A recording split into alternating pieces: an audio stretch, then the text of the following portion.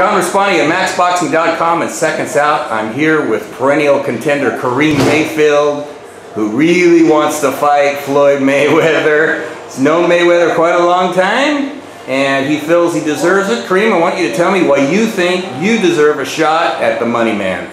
Well, I think I deserve a shot because um, due to the fact, you know, um, I'm a ferocious fighter, man. I'm, um, I bring a lot to the table. You know, um, first of all, anyone that fights Floyd, that attempts to box him, we see what the outcome is going to be.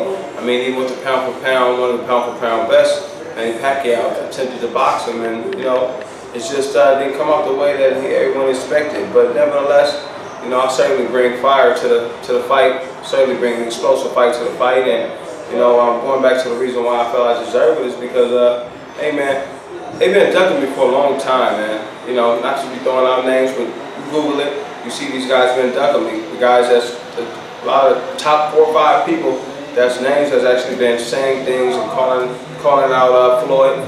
Y'all know y'all been ducking me, man. One day notice, Mayfield, you want to take the fight? Let's do it. Fly me out there. Oh, Mayfield, they don't want to fight you. How many times has this happened? Several times. So, um, you know, like I said, man, um, I think I'm deserving of a fight and uh, ready to go. You're 19 and 2 with 11 knockouts. You got into boxing late, but you, you know, you, you're. I think people forget that you're one of the people that beat Mauricio Herrera, who the, course, the lineal champion. That is correct. So that's why I brought that up. He just won another title a few days ago in Los Angeles. Uh, so you think that your style would give Floyd a lot of, because Floyd is a boxer and you're you got that big right hand. You think your aggressiveness would give Floyd some problems?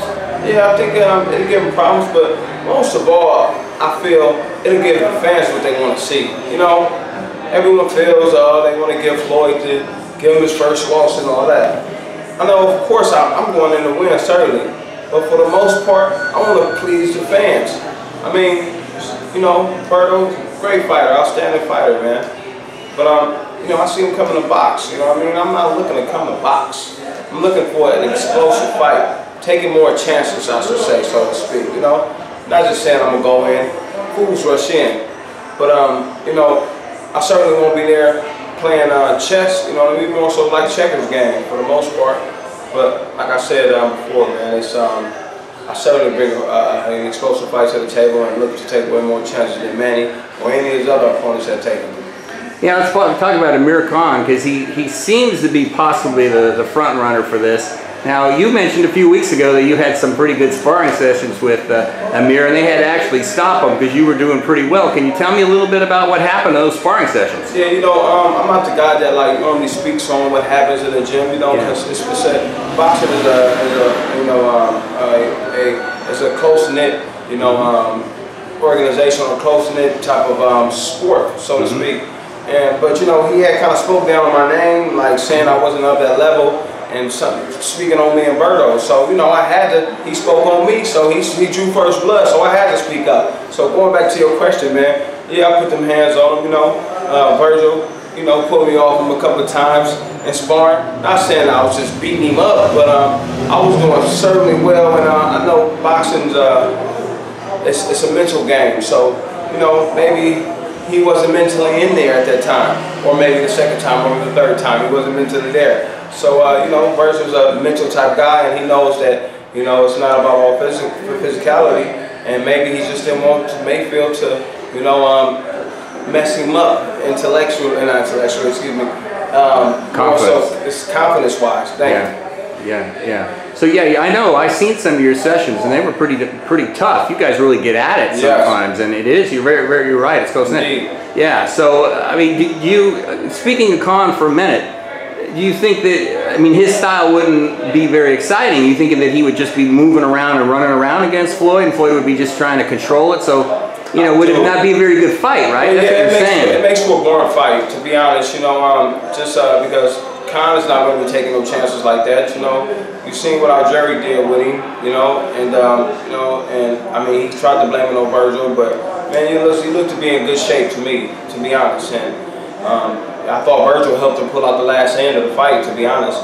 You know, but um, yeah, man, um, these guys ain't taking chances, you know. So more so, I feel that kind of be it'd be back like a, fencing game. Mm-hmm. Mm-hmm. Nobody want to see that. People want to see Floyd in with a, a, good fight.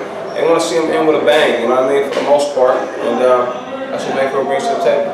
Yeah, exactly. Now Andre Berto is another good fighter and he's a friend of yours, and he's also in the running. Right. He would bring it probably against Floyd too, right? I mean, he would be like you trying to land the big bomb and everything. But you think your right hand is the the one that could really be the, the, the game changer against Floyd? Yeah, you know, as far as Berto, Berto is definitely, um, he has a lot of tenacity, he's an explosive fighter.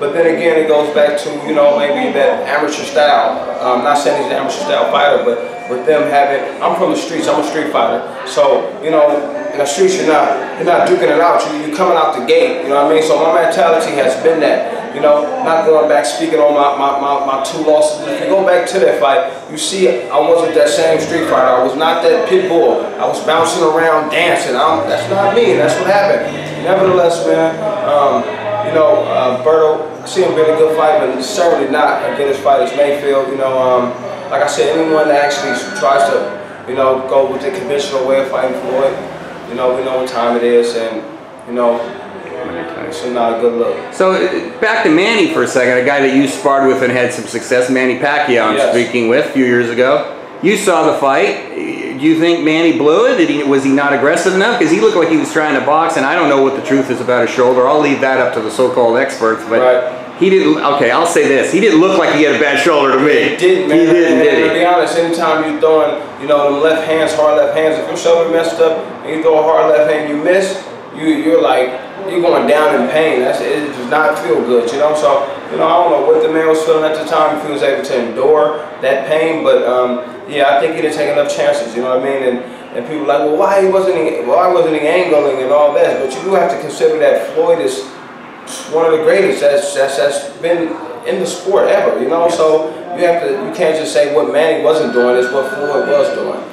I think it's a right hand, that lead right hand. He was very concerned right, about that right hand because he can sting you with that right hand. Certainly. So, just wrapping it up here, your aggressive style. So, if you were to fight Floyd, who's 48 0, what would you do to give him that big, that give him that number one loss? What would you have to do to do that? I would have to, um, I have to come in there with two hammers, man.